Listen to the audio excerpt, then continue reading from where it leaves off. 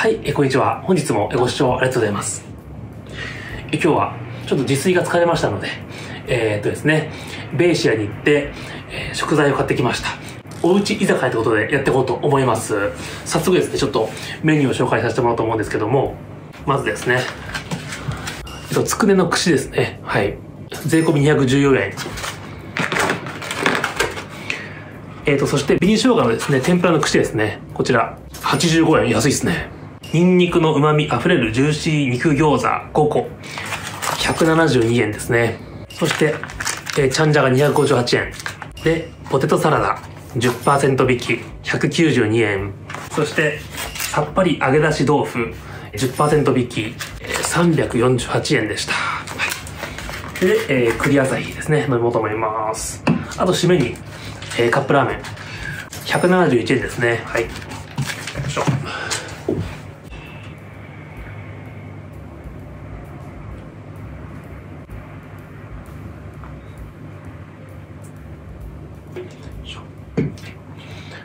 皆さんもしよかったら一緒に飲みましょう。乾杯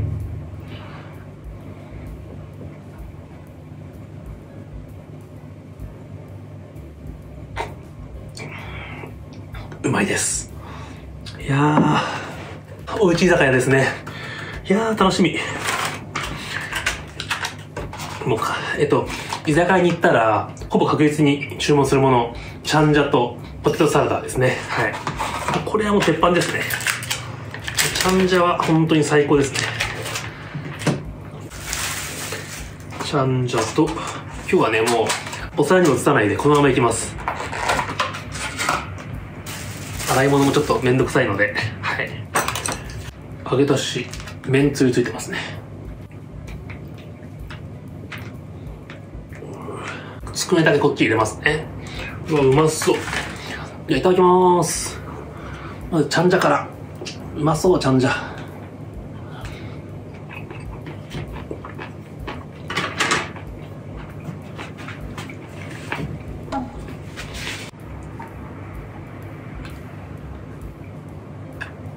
うめえ。いや、いいっすね。居酒屋ってよくないですか？僕居酒屋好きなんですよね。やっぱりこう、本当にこう気、気心知れた人と一緒にこう、えー、行って、あの、たくさんまあ注文して、テーブルにこういう風にこう、たくさん食材が来て、お酒を飲んで楽しむっていうのがですね、本当に居酒屋好きです。で、居酒屋のメニューもすごく好きですし、やっぱお酒好きなんで、最高ですよね。特にこのポテトサラダなんていうのは、居酒屋によって味が違うじゃないですか。そういうのもこう、なんかこういいですよね。ここのポテトサラダ美味しいとこですね。ベイシャのポテトサラダどうでしょうか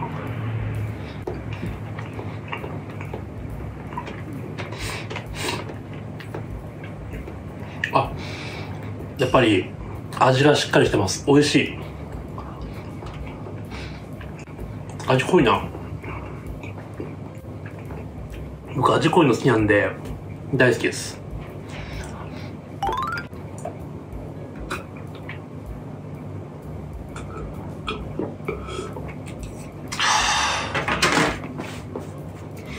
たまらない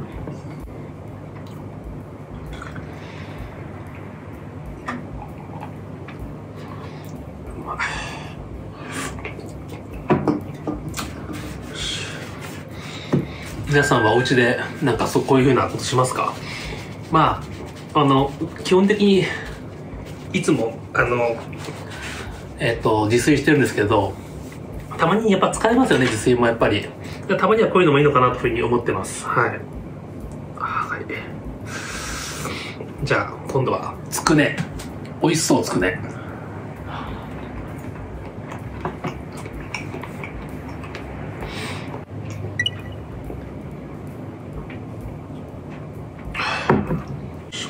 餃子。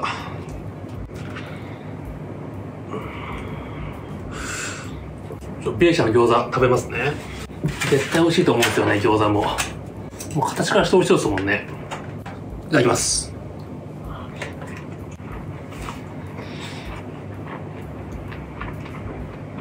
餃子はちょっとあんまりあの味が濃くないですね。これ？なんかイメージと違うな。いや、美味しいですよ。美味しいですけど、ちょっとイメージと違いましたう。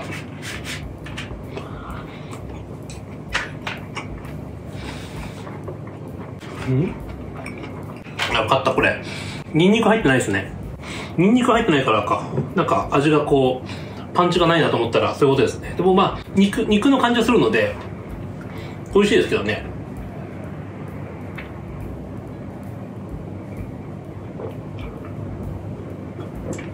やば、早い。早すぎる。一本目飲みました。早っ。やばいな。よいしょ。2本目いただきます。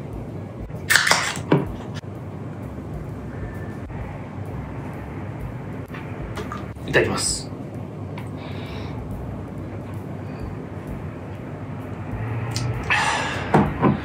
うまい。じゃあ今度この揚げ出し豆腐食べてみましょう。これはうまいだろう。間違いなく。一個一個。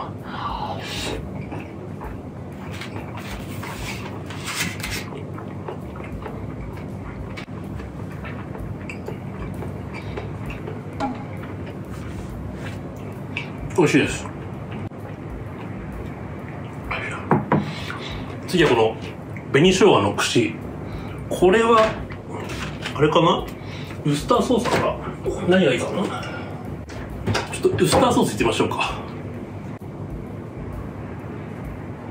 お、いっぱい入れちゃったか。よし。よし。いただきます。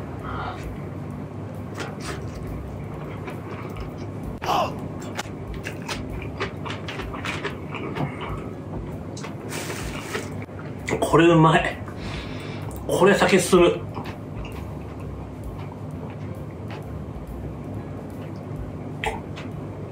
うまい。最高。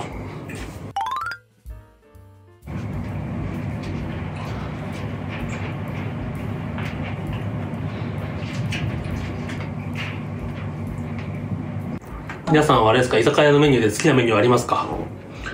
僕はね、もう、チャンジャ、ポテトサラダ、唐揚げ、あとなんだろ、しめ鯖。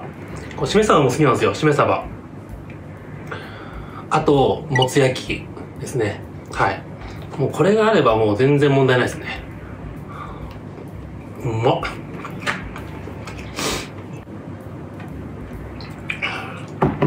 僕あの、串焼きが好きで、そう、白とかですね、そういったものがめちゃくちゃ好きなんですよ。串を、だからたくさん食べたりとかしますね。うん。しかも僕はもう、お酒飲んでも食べれるんですよ。だからね、居酒屋に行くと結構お金かかっちゃうんですけど。でも、今安い居酒屋いっぱいありますもんね。あの、彼女とよく行ってる居酒屋がありまして、あの、365佐川って知ってます？そこはですね、お酒飲む人にはめちゃくちゃおすすめで、そのお酒も安いですし、あの、昼の12時からやってるんですよ。はい。で、この前彼女と行ったら、もうね、12時から行ったんですけど、1時間ぐらいしたらもうだいぶ混んでましたね。うん。すごい。あのね、ただね、まあ、その串焼きがないんですよね。それだけはちょっと残念なんですけど、あとはね、メニューもすごく美味しいですし、もうお酒も安いですし、うん。すごくいい、あの、飲み屋ですね。もう、彼女と、まあ、3回ぐらい行ってますね。うん。うまっ。ベイシアのポテサラめっちゃ美味しいです。味濃い。味濃いのが一流になっちゃってるんですけど、うん。優しい味がしますね。僕あの、ライブ配信で、あの、初めてライブ配信やったんですけど、子供の頃、あの、小児喘息で、よくあの、入退院を繰り返してましたっていうふうに言ったんですよ。で、子供の頃からだったから、本当小学校、えー低学年の頃ぐらいまでは、本当に、あの、入退院繰り返してて、で、あの、マラソン大会とかありますよね。まそのマラソン大会には全部出れなくて、で、小学校4年生ぐらいから野球を始めたんですよ。で、野球を始めてから、だんだん体力がついてきたんですよね。一応あの、スイミングスクールもやってたんですけど、スイミングはあんまり合わなかったみたいで、野球を始めてからなんかいい感じになってきましたね。で、その入院するじゃないですか。で、もう、喘息で苦しいんですけど、その、入院する病棟の中に、やっぱその小児科なんで、他の人もいるわけですよ。で、その中に女の子とかもいて、そこでこう仲良くなって、なんかその子のこと気になっちゃってみたいなこともよくあって、なんかね、すごい、うん、入院しててもやっぱりその、コミュニティがあって、みたいなコミュニティというかその、ね、あの空間があって、なんかすごくこう懐かしいなというふうに思いますね。で、おばあちゃんがいつもいてくれて、おばあちゃんといつも、あの、時間過ごしてて、で、お母さんがですね、こう、来てくれるのを、病院の窓からですね、こうやって見見下ろして、見下ろしながら、あ、お母さんの車だとか言って言いながら、おばあちゃんと一緒にこう待ってたのがですね、すごくこう、懐かしいなと思いますね。うん。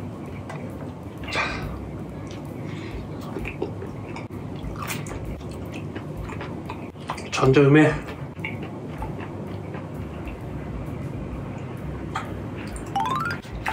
揚げ出しどうでもいいっすよね。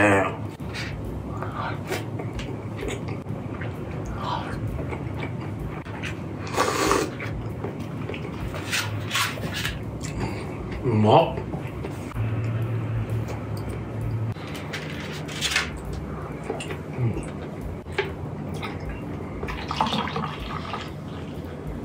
やっぱジョッキで飲むと酒進みますね。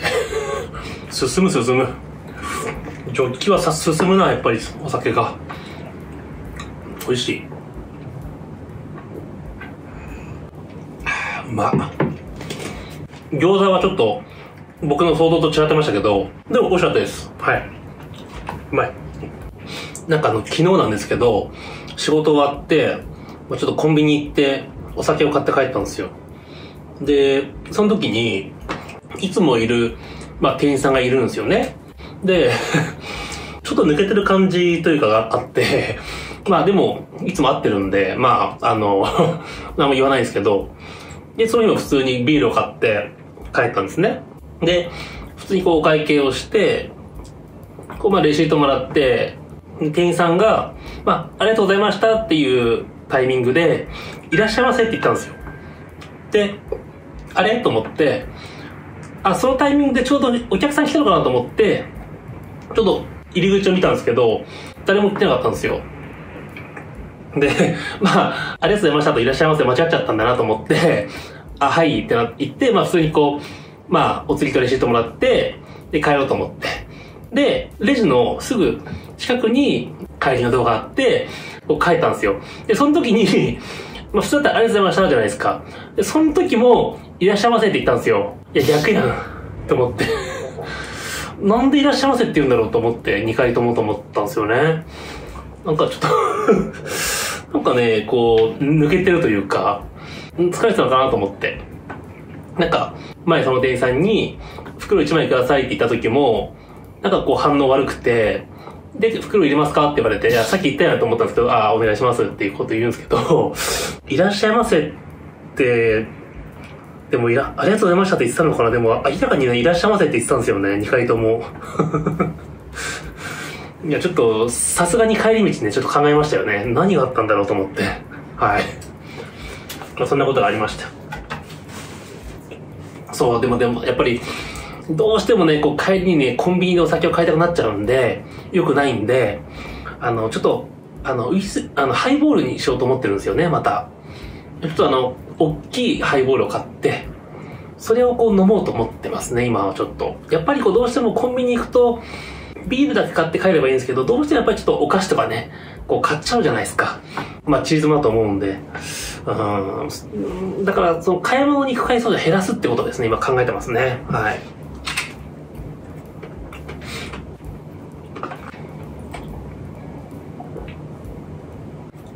いや、でもこの中でやっぱりポテサラが一番かもしれないですね。うまいな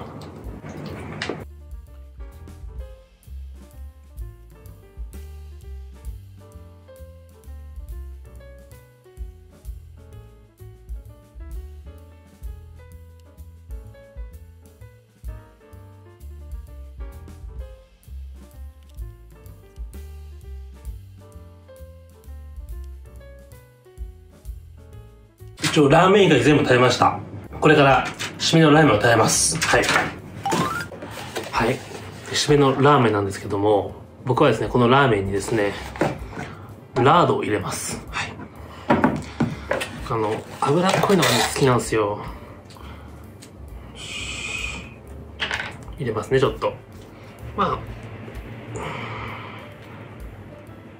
これぐらいかな。これぐらい入れました。そこに、えー、お湯をですね、添えていきましょう。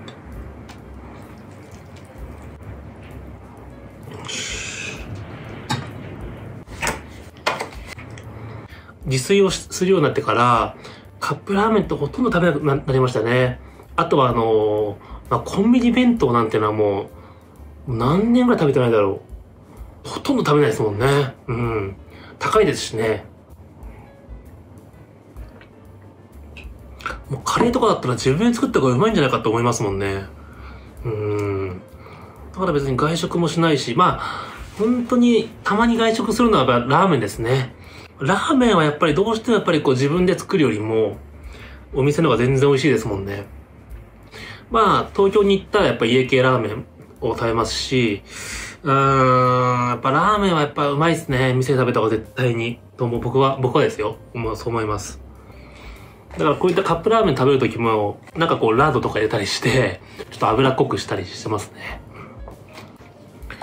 やってみましょうか。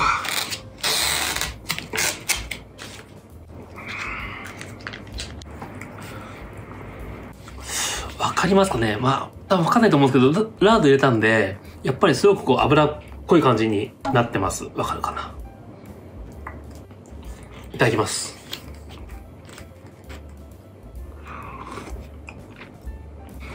ラード入れると、本当にもうちょっと、あの、コクが増しますね。うまい。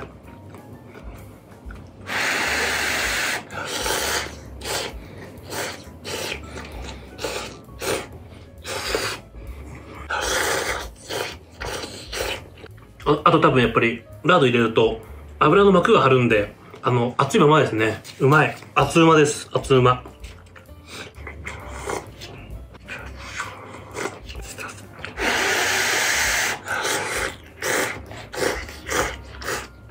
今あの、コンビニとかでカップラーメンとか買おうとすると、超高くないですか？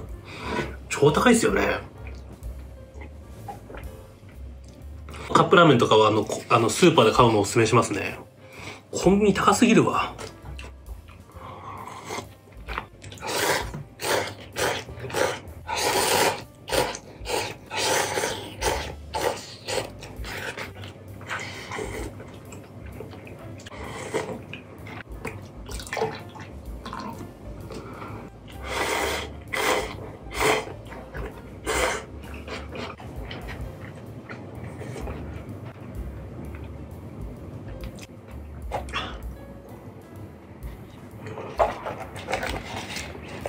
ごちそうさまでした。完食しました。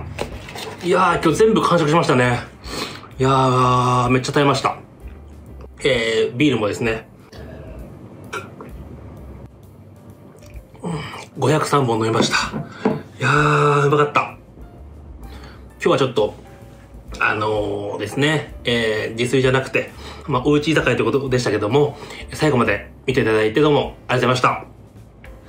もし、この動画がいいなと思っていただけましたら、高評価とチャンネル登録ぜひよろしくお願いいたします。それでは本日もご視聴ありがとうございました。さよなら。